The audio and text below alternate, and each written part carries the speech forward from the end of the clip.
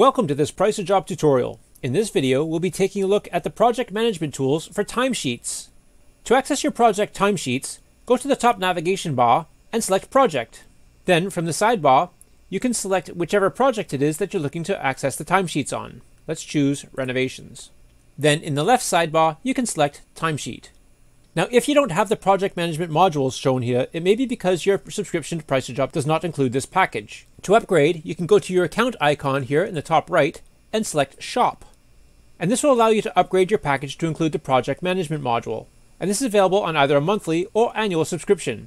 If you're considering several of these modules, we strongly recommend upgrading to the All Included package, which represents a savings of almost £300 and includes all of the packages, including project management, estimating, building regulations, engineering, and accounting. Now, if you don't have project management, but you do have the accounting package, you can use the accounting package to access the timesheets instead. And that can be accessed here in the top navigation bar by selecting Accounting. And then in the left sidebar, select Timesheet. And this will show you the timesheet for the selected project. To change projects, just go to the navigation bar here at the top and select the project that you need to access the timesheets for. In this case, let's go back to the Project tab and access the timesheet here. Now to add a person to this timesheet, we can add a person here. And here are our staff members, Alex or Robert, or we can create a new staff member here by clicking Create New. And here we can quickly add a new team member by adding their name and hourly rate. And save. And we can display the timesheets by week, or by specific date for a single day, or by report. And this will allow us to use custom dates, or to quickly sort by last week, this week, last month, or the fiscal year.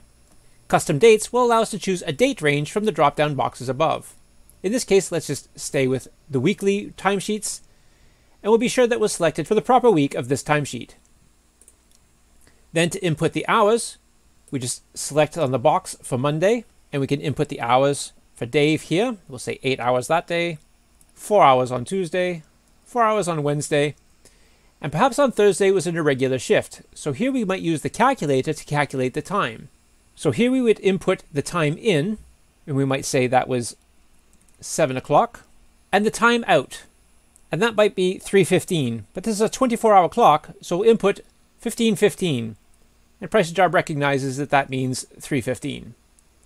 And then we can input the length of break, maybe had a 40 minute break, and Price Job automatically calculates the total time for this day, as well as the day's wages based on his hourly rate. If there are any other items to add to this, we can click Add Item, and then we can select the pay rate type. Perhaps rather than normal hours, this was overtime work, price work, sick, or vacation time. Or if you wish, you can add a different work time if you don't see what you need here.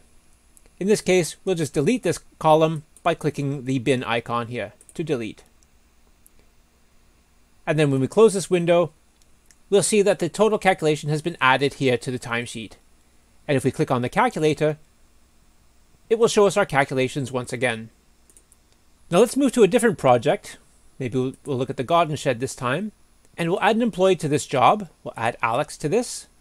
And we'll say Monday he worked 12 hours and Tuesday he worked 12 hours. So now we have timesheets created for several different projects. In order to see this employee's total earnings, we can now go to the Company tab here in the top navigation bar and select Staff, and then go to the Timesheet tab.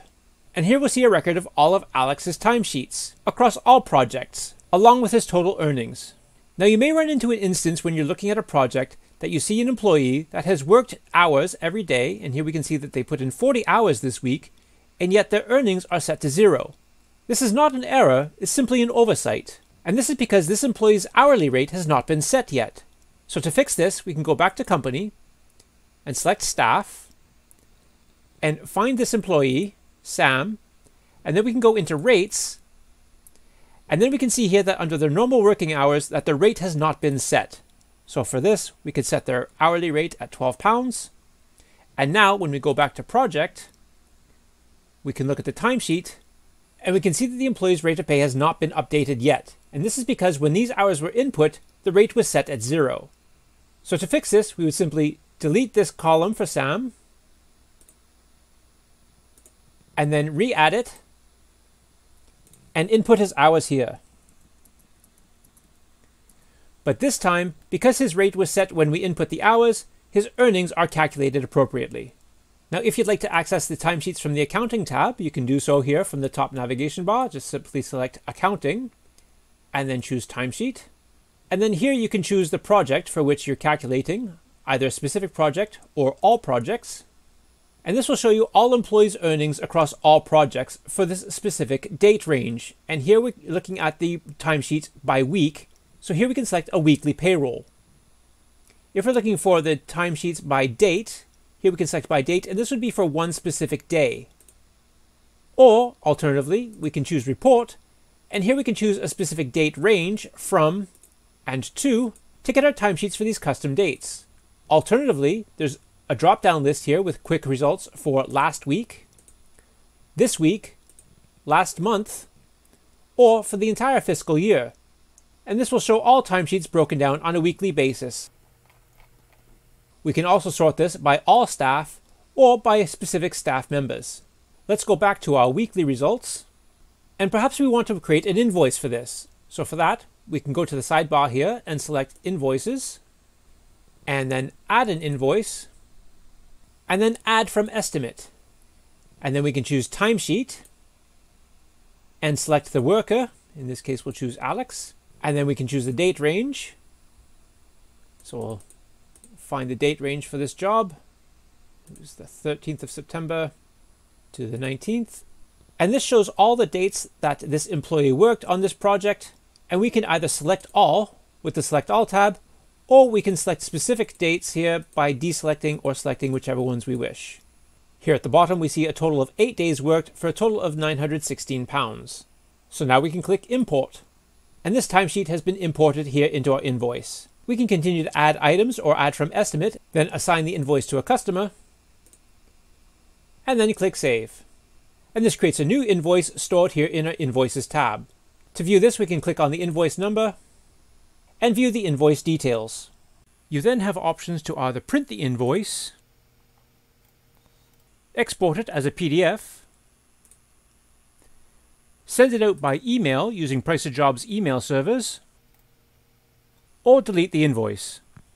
And that is how you can use the timesheet module in either the project management or accounting packages. Thank you for using Pricerjob.